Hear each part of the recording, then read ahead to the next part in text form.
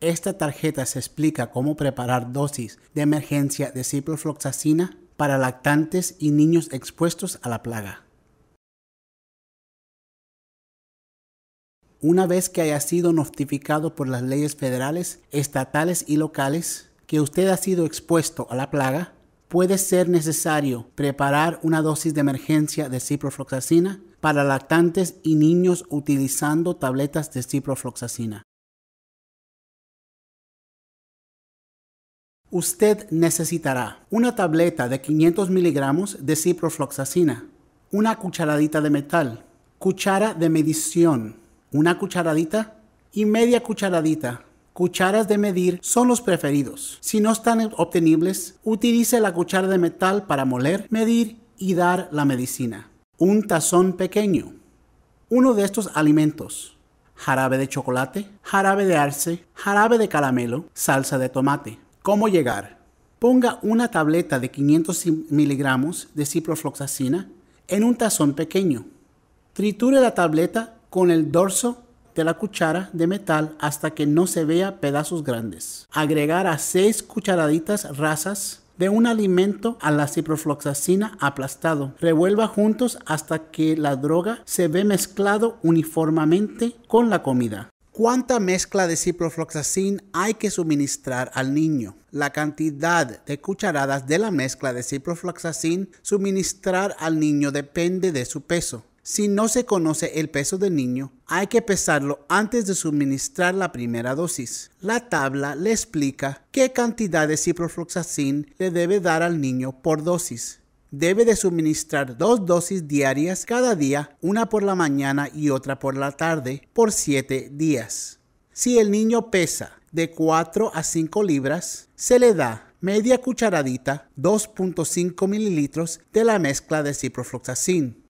Si el niño pesa de 5.5 a 10 libras, se le da una cucharadita, 5 mililitros de la mezcla de ciprofloxacin.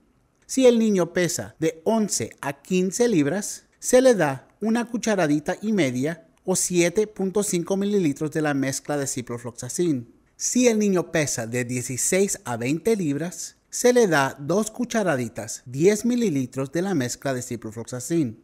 Si el niño pesa de 21 a 25 libras, se le da dos cucharaditas y media o 12.5 mililitros de la mezcla de ciprofloxacin. Si el niño pesa de 26 a 30 libras, se le da 3 cucharaditas o 15 mililitros de la mezcla de ciprofloxacin.